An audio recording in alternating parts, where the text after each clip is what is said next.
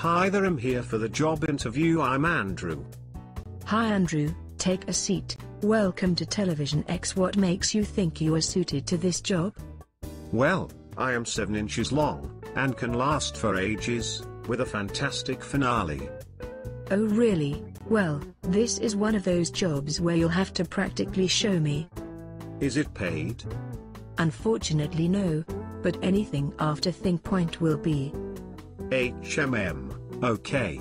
Give me 5 minutes while I go prepare. Is there a porno mag in the other room? Yes there is, I'll also prepare. And wait for you to enter me.